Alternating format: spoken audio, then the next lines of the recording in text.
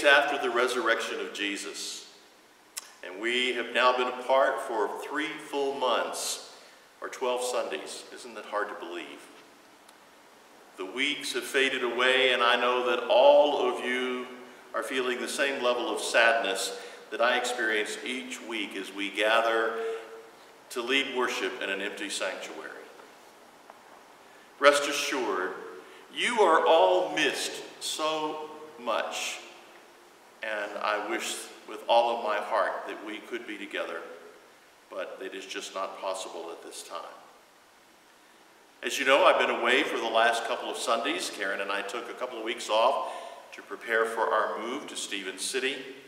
I want to thank both Jeff Mickle and Drew Enns for leading worship these past two Sundays and it is my hope that you were refreshed and inspired by the messages that they offered to you.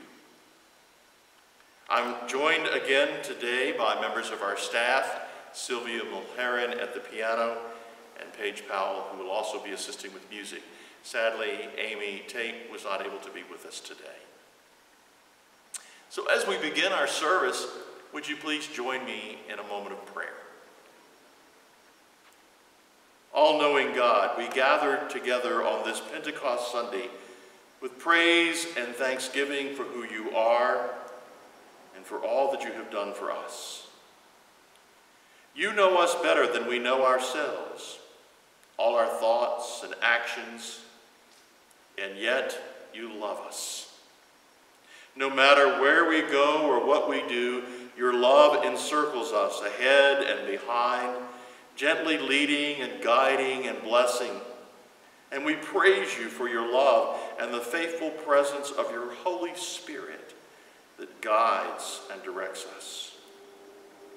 May your Spirit move upon us once again today within our hearts and our minds as we worship together. Help us to examine our attitudes and actions, to lay bare the things that we need to confess before you And may we be challenged by your holy word and guide us on to paths that lead to life. For we, O Lord, are your people, called by your name. Guide us now. In Christ's name we pray. Amen. Our first hymn today, which we will invite you to sing along with, is O Spirit of the Living God, and you will find the lyrics printed on the screen for you.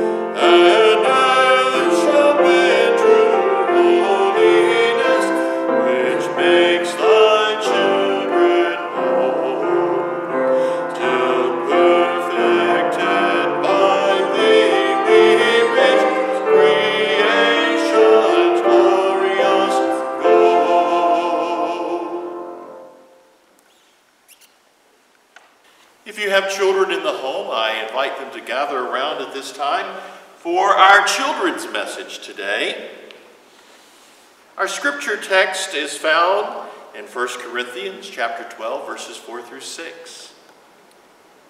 And it says this: There are different kinds of spiritual gifts, but the same spirit is the source of them all.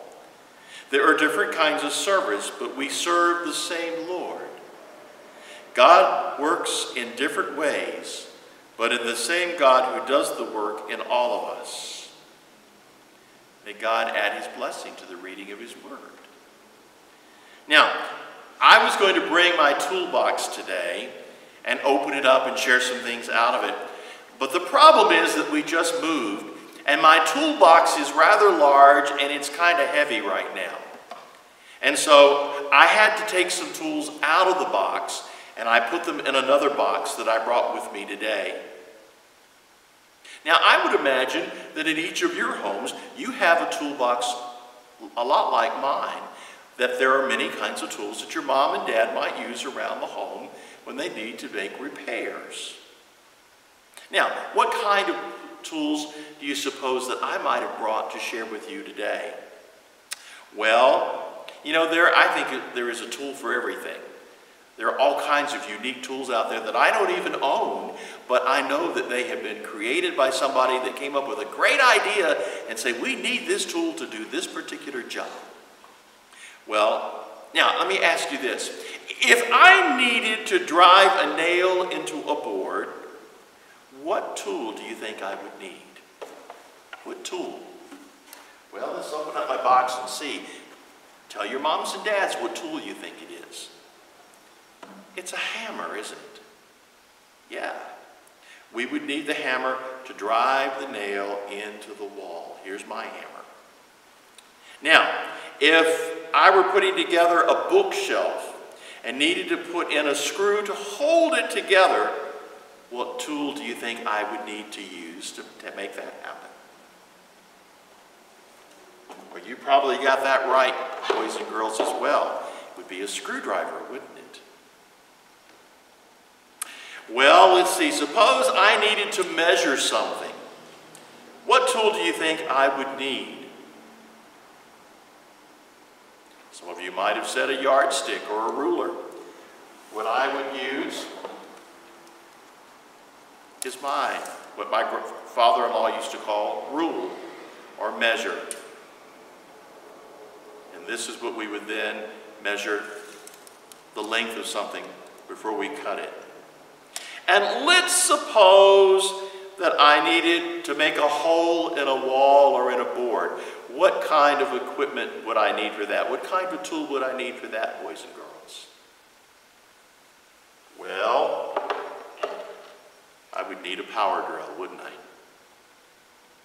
put a bit in the end of the drill and plug it in, and turn it on and then you can drill a hole and you can put a screw or anything you want to put in and it would work very nicely for you. So these are just some of my tools that are tools of the trade that you might need around home to do the kind of work that's necessary from time to time. But you know, the church is like God's toolbox. God has a lot of jobs to do, and He's given the people of His church different gifts and talents to help him do those jobs that are so important. We, boys and girls, are his tools. To some, he has given musical talent to help lead others in worship. To some, he's given the talent of teaching so that they can help others to learn about him.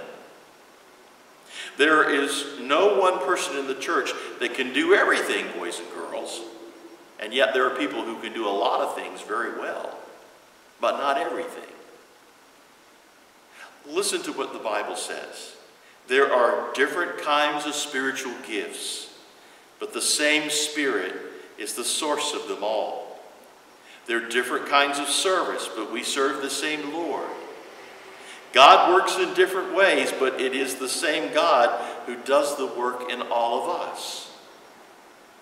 Now, if I needed to tighten a screw in my glasses, I could not use this screwdriver. Why? Because it's too big. I would need a tiny screwdriver that's made for the tiny screws in my glasses. You see, it doesn't matter what your talent is, and it doesn't matter if you're big or if you're small. What does matter is that when God has a job for you to do, you need to be right there in his toolbox, ready and willing for him to use you to make a difference. Boys and girls, remember that we are all God's tools. Each one of us must be ready and willing for God to use us to do his work. And so, why don't you join me now, boys and girls, and repeat after me this prayer as we ask God to help us to be tools in God's kingdom. Let's pray. Dear Lord, Lord, we thank you thank you that you have given each of us each of us special abilities special abilities to do things for you. to do things for you. We pray We pray that when you need us, that when you need us, we will be ready we will be ready and willing to do and ready to do what you need for us to do. what you need for us to do. Amen. Amen. I hope that you've learned something important today, boys and girls, about being tools in God's toolbox. Thank you, boys and girls. I love you. Bless you. Now we're very privileged to have our organist and accompanist, Sylvia Mulherin. She today is going to play a piece at the organ for us. So I invite you all to enjoy and to give praise to God for her wonderful talent.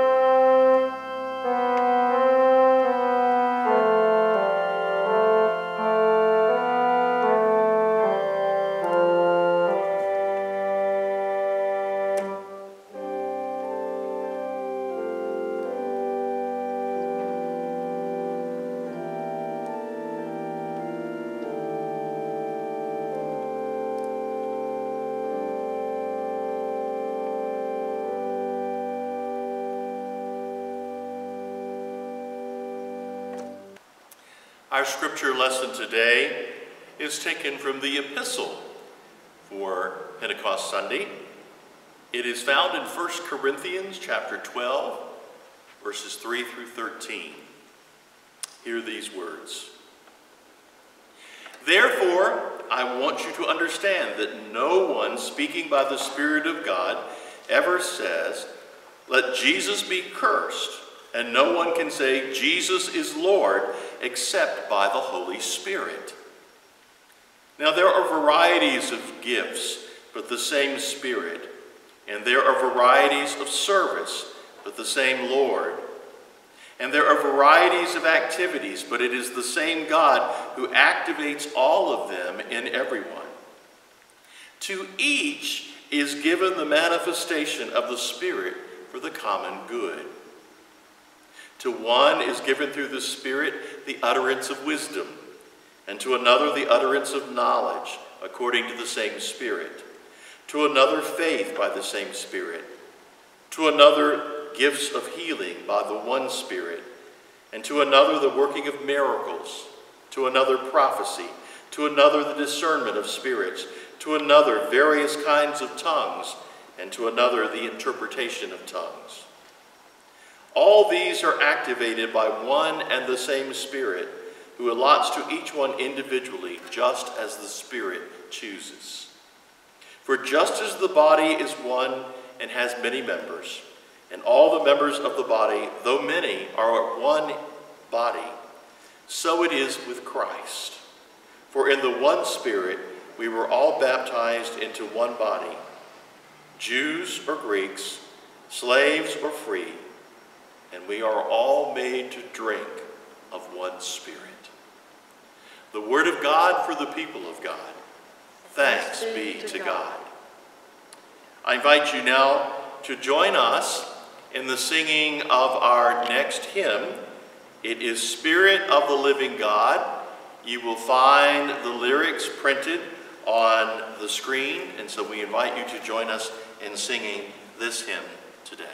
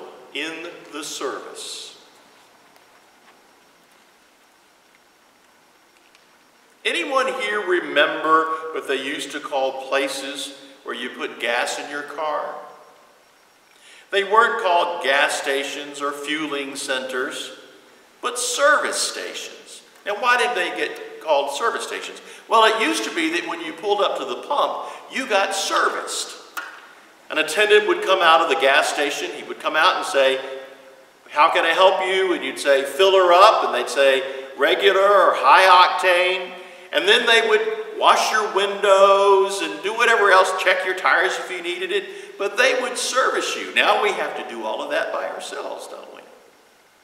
I never will forget when my grandmother said, You mean I have to put gas in my tank? That yes, we used to call them service stations. You got to say seated in the warmth of your car, and today you, it would be with the beauty of the air conditioning on such a hot and muggy time as, as summertime. They would also check your oil and your radiator if it needed. They would check your tire pressure if you wanted them to do that. And after filling up the tank, they took your payment and wished you well and waved you off.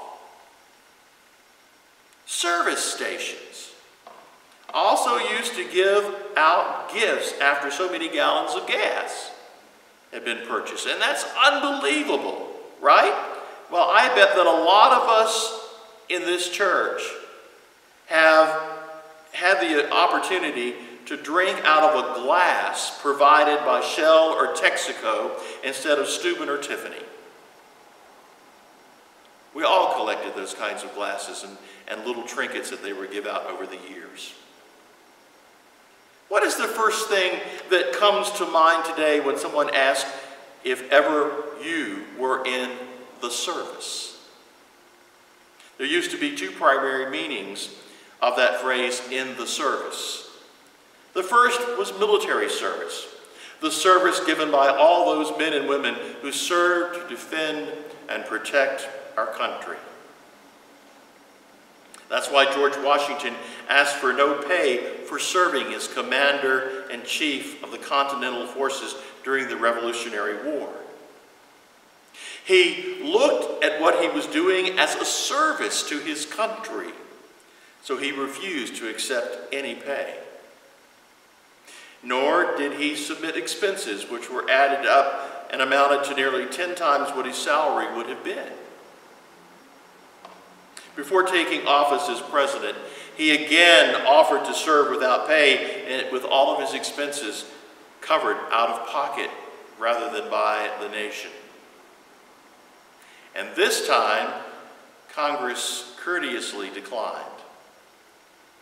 This past week, we celebrated Memorial Day and we honored all of those who served our nation and especially those who paid the ultimate price for our freedoms.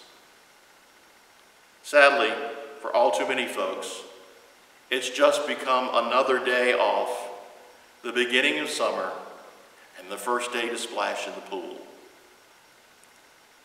You know, my dad served in the Navy during World War II. And he was stationed in Italy in 1944 and served as a chief radio operator on a ship. Now, like many fathers and grandfathers, they were fortunate to return home from the war. And my dad loved to share stories of his time in the service with friends and with family. Now, as Karen and I were preparing to move to our new home in Stephens City, I found something that I think is quite unique. I found my dad's original Navy uniform, and I brought just the top of his uniform to show you today. It smells like mothballs. It's been well preserved. But we must understand that this was put on my dad's body back in the 1940s, and so it's over 70 years old. I did not bring the trousers or the hat. In fact, when I was 18 years of age, believe it or not, ladies and gentlemen, boys and girls, that's how big your pastor was. I was able to put this uniform on at age 18, and my dad took a picture of me in it and was very proud of the fact that I could wear it, and it reminded him so much of his time of serving in the Navy. I also, as I was going through boxes, found my dad's dog tags and his honorable discharge papers. It made me very proud of my dad. Many of our esteemed St. George's members spent most of their lives serving in the branch of the military. And we want you to know that we are eternally grateful for your sacrificial service to our nation. We love you and we appreciate what you've given on our behalf. Military service is one form of service when we talk about being in the service. There's a second association of being in the service that is, was made bare in a hit television show known as Downton, Downton Abbey.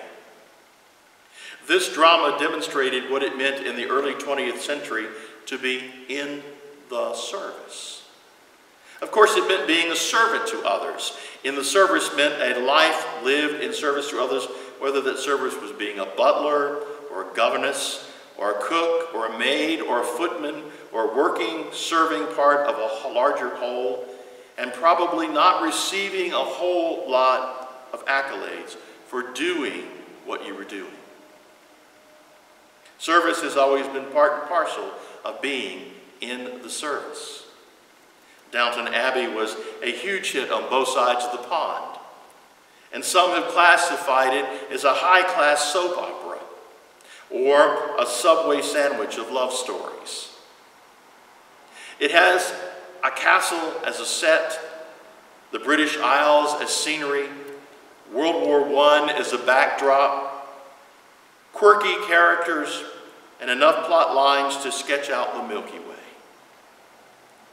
Yet while the emotions that drive the characters and their stories are eternally familiar, love, money, desire, ambition, acceptance, success, all which are the social fabric of human needs, are played out in a manner that is fairly foreign to us.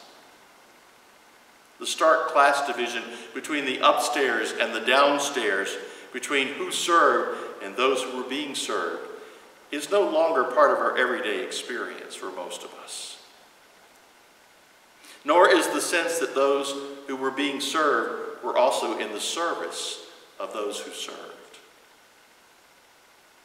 But the call to be in the service continues, not for serving the newly rich as a status symbol, butler, a resurrected position inspired by the show that can reportedly command as much as $250,000 a year among the uber rich, but to be in service for all members of the family of God. Now, even if you've never worn a uniform, even if you've never gone through boot camp, even if you've ever, never saluted a superior officer or been a house servant, if you are a baptized Christian, you are in the service. No matter what your background, whether it is silk sheets or back streets or corporate spreadsheets, we are one community in service to each other and to the world. Paul's lesson on spiritual gifts in this week's epistle reading wasn't about the variety of spiritual gifts that might be available. Paul loved to make lists. And his list of giftings were not meant to be exhaustive and definitive, but expressive and suggestive. Paul's lesson on spiritual gifts was to teach the community that whatever their spiritual gifts might be, they all came from the same source, and that all who were gifted by the Holy Spirit should be governed by the Holy Spirit, the same Spirit that calls us all to be in the service. There's an old saying many folks want to serve God, but only as advisors. Paul would have none of that. All Christians receive the Holy Spirit at the moment of their baptism. The giftings of the Spirit are not to make us feel good or feel superior to others in our faith community. Whatever is graced and gifted to each one of us is for one purpose only for the common good of all. We are graced and gifted not for ourselves, but for a life in the service. In the service of others, for the common good within the body of Christ and without, in the world in which we live. You know, I think we're still nervous about speaking about spiritual gifts. As hard as Paul tried to disarm the Corinthians' claim to special gifts, that particular stigma has been historically hard to unstick. In the 21st century, claiming a spiritual gift sounds in the ears of the world a little stagey and strange. In the first century, Paul reminded folks that spiritual gifts were not individually oriented. In fact, in Paul's mind, they were never to elevate the individual. Only the ignorant and those not quite with it among the Corinthians would judge them as such. Instead, Paul showed the new Christian community of believers in Corinth, almost all of them Gentiles at the time, that the Spirit of God that they had received at that moment of their baptism transformed them, gifted them by making them into bodybuilders. At baptism, we are called to put service over self. At baptism, the question changes from what can I get out of this? What can I get out of my faith? To how can my faith help me to serve God, the body of Christ, and the common good? That's the work of the Holy Spirit. That's what Pentecost is all about. It's about the Spirit coming upon us and giving us gifts and abilities to be the body of Christ alive and well and vibrant in the world. And even in the midst of our pandemic, we need to continue to be the church. The church is not closed, just the building itself. The church is still very much alive, for we, the body of Christ, are the church.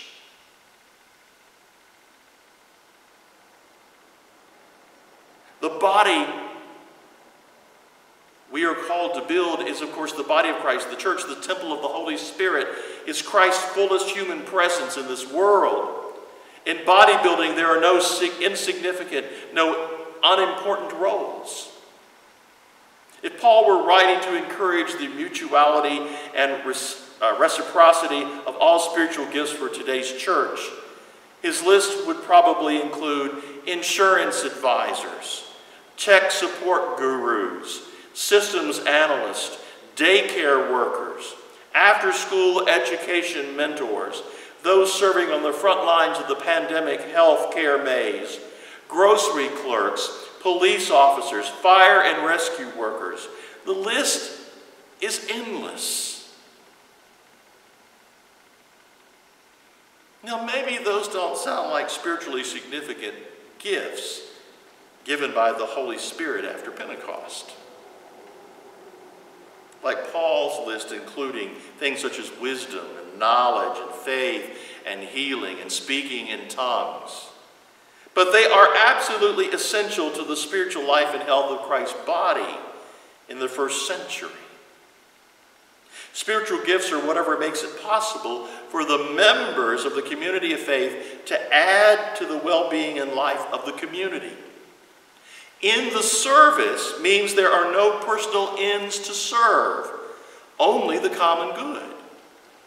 The Knights of Columbus have a great motto in service to one, in service to all.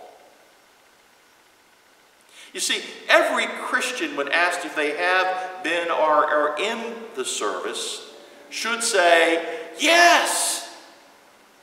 The moment of our baptism, we are all joined together in a community of service. We only await the director from the Holy Spirit to lead us in our path of service. And in fact, there is an old slogan that needs to be resurrected Doctrine divides, service unites. Maybe it was with that slogan in mind that in 1972, the book of worship published by the United Methodist Church, in its great thanksgiving, recited at the Lord's table, ended with this line Make us one with Christ, one with each other, and one in service to all the world. Christian service is at the root of what it means to be a Christ follower. When the Holy Spirit came upon the disciples at Pentecost, they were given the ability to speak in other languages and were then sent forth to proclaim the gospel, to serve the last, the lost, and the least of the world, to evangelize and transform the world for the cause of Christ. That's what you and I have been called to. That's what the Holy Spirit has come upon us to enable us to do and to do well. And with all of the gifts and graces that we have in community, all pulled together, we become one great toolbox for the cause of Christ. They can perform and fulfill the work and ministry of the church that Christ has called us to. It is essential in the lives of everyone that has been filled with the Holy Spirit to understand that we are called, all called to ministry, all called to be in the service not just your pastors and your staff, and not just the key lay leaders of the church. All of you, all of us, have been called to be in service. The hymn says, They will know we are Christians by our love, by our witness, and by our service. A room service waiter at a Marriott hotel learned that the sister of a guest had just died. The waiter, named Charles, brought a sympathy card had hotel staff members sign it, and gave it to the distraught guest with a piece of hot apple pie and ice cream. Just a simple gesture. A few days later, a letter was written which said, Dear Mr. Marriott, the letter had been written by the bereaved guest to the president of Marriott Hotels. I've never met you, the letter said, and I don't need to meet you because I met Charles and I know what you stand for. I want to assure you that as long as I live, I will stay at your hotels and I will tell my friends to do the same. All of us have been through or been serviced by the people at Chick fil A. They have learned what it means to be in service. And what's their line that they give us when you say thank you? It's always my pleasure. It's their pleasure to serve us. All of us have called to be in the service as part of the body of Christ. Paul says we have all been given gifts by the Holy Spirit. We must faithfully use them to the glory of God. And during this pandemic, it has been difficult for us to find ways to serve others. But I know firsthand that there are those within our church family that have been providing meals for some of our elderly members, providing breakfast for folks who are unable to see each other so that they can do FaceTime with one another and have an opportunity to be sharing a meal on each side of the camera and have fellowship with one another on Sunday, today, at noon. There are many of us that will be gathering on Zoom for a virtual potluck. And we'll have the opportunity to see one another and to have fellowship. And there's going to be some fun games, playing some bingo and doing some other things. We hope that most of you will join us or be joining us today at noon uh, for this particular wonderful potluck meal. It's so important. Some churches have continued to provide food pantries, bag lunches for children, and one United Methodist Church on our district opened up a COVID 19 testing site in their parking lot this week. Creative ways to show the love of Christ and to be in the service. For most of my life, We've called our gatherings on Sunday morning the worship service. Often, when we talk about Sunday, we simply say, I attended service this week. I love how we call our coming together each week not worship as much as service. But a colleague challenged me a few years ago not to call it the worship service, but a service of worship. Think about that. A service of worship. Let us discover ways to be in service and witness that become a service of active worship in all that we do and all that we say. Because everything we do and say should be praise and adoration and prayer unto God. Worship. This week, I invite you to use the language of worship but also use the language of service. You see, the heart of Christianity, brothers and sisters, lies in the incarnation. The divine nature is self emptying and self sacrificial, not self serving, but in the service. Will you join the service this week? I pray it will be so. Let this be in the name of the Father, and of the Son, and of the Holy Spirit. Amen and amen. And all the people said.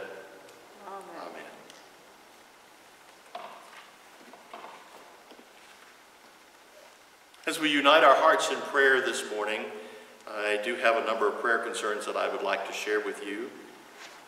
Uh, Virginia Bennett, who is the mother of Penny, uh, would love for you to continue to lift her in prayer. Sierra Salmon, uh, Debbie Salmon's daughter, had some outpatient surgery this week. We invite you to keep her in your prayers as she heals and mends. Joan McDonald is home. She is being provided 24-hour uh, nursing care at the home. Uh, she is grateful for all of the love, the care, the meals that have been provided. And so I want to encourage you to continue to pray for her as she gets stronger each and every day. We also continue to invite you to pray, pray for all the healthcare professionals and first responders, all those returning to work as businesses open up across the Commonwealth and the nation, for those that have been diagnosed with COVID-19 and those that have died and their families. I know that you've been listening to the news and many regions that have opened up and where they've allowed people to return to worship are now seeing a spike again of the COVID virus. Even in South Korea, where they had 2,000 worshipers gathered together for worship, encouraging them all to wear masks, over 400 members have now been diagnosed with COVID-19. So we need to be mindful of this and we need to be very careful about what we do and how we do and that's why it's very difficult for us to simply fling the doors open wide and say, come on back. But we encourage you to continue to stay grounded and stay connected in prayer and in relationships with others. Also, we are again alerted to another insidious, deadly virus that is eating away at our culture, and it is the virus of racism. In the last few days, we've added to the long list of people who've been victimized by it. Barely has Ahmaud Arbery's murder been surfaced, and now we learn of George Floyd's murder in Minneapolis and Christian Cooper's humiliation in New York. These are not isolated cases. They are part of a growing trend that we are called to stand against in the name of Jesus Christ. Silence or denial, my friends, only contributes to the spread. So I pray that each of us will find ways in our, within our own lives and within our congregation to lift up these names and to hear the cries for, of those addressing the ongoing injustices and healings, the wounds of the racious, racial virus. Let's also pray for an end to the violence that is a, a product of this, these insidious events people would stop looting and burning buildings and that there would be a sense of peace and calm. Surely Jesus shows us that the remedy and the vaccination, if we will humbly turn and seek his help and persistently follow him on this stony road to a long journey. A vaccination for the virus of racism and a vaccination for the COVID-19 virus. May the church shine strong with the love of God in Jesus Christ into the light of these epidemics. And may the remedy start at home and in our own families of faith as we seek to build beloved communities of healing, of love, of reparation, and reconciliation. Would you join me in prayer? Oh Lord, we are grateful this day for the countless blessings again that you've given us every day. And Lord, in the midst of this pandemic, sometimes we take those blessings for granted because we have a tendency to fuss and complain about the things we can't do. And yet we still have so many wonderful freedoms. We again express our gratitude for the technology that allows us to worship in this format. And I thank you, Lord, for all of those that have tuned in today to be a part of this service. And ask your special blessing upon each one and each family that we, as the body of Christ at St. George's, continue to be connected, to be in the service in ways that are very tangible, not only within these walls when we have the opportunity to regather here, but most importantly, beyond these walls in the communities where we live. We pray, O oh Lord, that our church would continue to grow and to prosper in the future, that you will continue to sustain the work that we are about, to provide the resources that we need to continue to move into the future. Lord, we're entering a season of, of transition in which I, the pastor of this community, will be leaving and entering retirement, and a new pastor, Sandy Plasters, will be coming to be the leader, spiritual leader of this congregation. And oh, how difficult it will be for her, O Lord, to step into this community, not having a congregation seated before her, people that she can be face to face with, that she can begin to make connections and get to know about their lives and about their joys and aches and pains and needs and loves. So, Lord, we just commit all of this into your care and keeping and ask for your continued guidance. And Lord, we pray for our world a world that sees so much need, for all the people that are sick, all those that are serving, all those that are working on the front lines and the businesses that are opening up. Lord, we pray for healing. We pray for protection. We pray for guidance. We pray for the move of your Spirit in a way that would help those that are trying to discover a vaccine to make that discovery quickly, to get it out on the market, and so that all of us can be vaccinated, and that, Lord, that we can move forward in our culture yet knowing that what was normal before will not be normal again. And help us to make those adjustments and to move forward with grace and love and dignity. Lord, we also want to ask for your guidance and your prayers for those of our membership who have a special need for your healing and care today. Continue to hold Virginia Bennett in your arms of healing and care. As Sierra mends from her surgery, as Joan McDonald regains her strength, Lord, we ask that you just take care of these very special people and that you allow those that are there to serve them to be your hands of healing and blessing and care in their lives. And so these and all the things that are heavy upon our hearts and minds today, O oh Lord, we lay at the, your feet.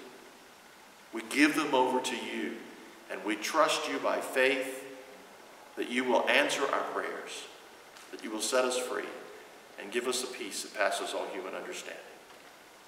We ask all of this today in the name of Christ. Amen. Just have a couple of announcements that I'd like to bring to you today.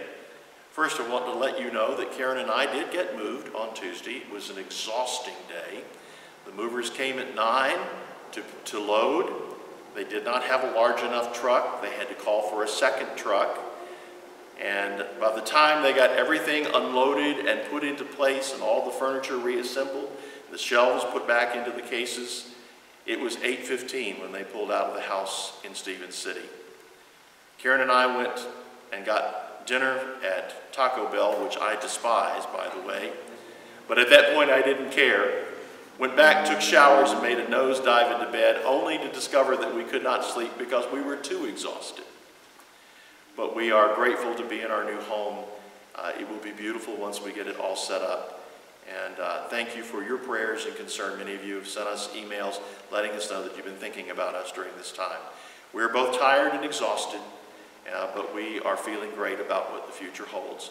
Um, also, want to let you know that on Sunday, as I mentioned in my sermon, that there will be a opportunity for you to gather at your table and be a part of a Zoom event that will be a potluck lunch. And CP and a bunch of others have put this together for, for this afternoon at noon. And so we encourage you to be a part of that. And there will be other events like this down the road as we move forward.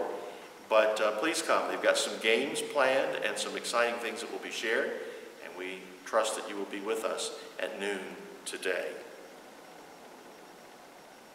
As we close out our service today, we would like to invite you to join us in singing our closing hymn, Make Me a Servant. You'll find the lyrics printed on the screen.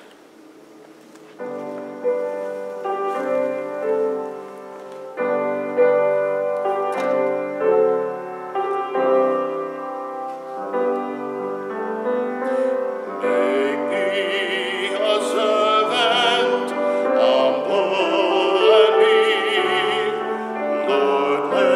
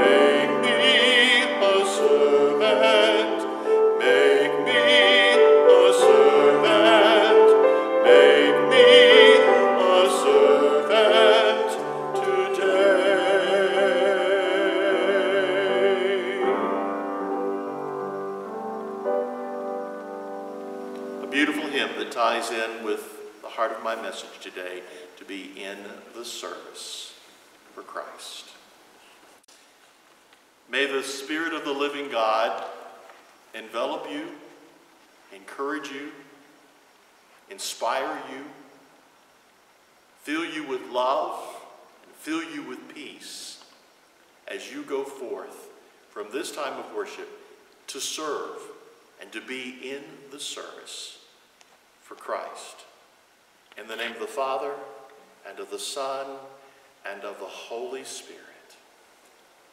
Amen and amen. And all the people said, Amen. amen.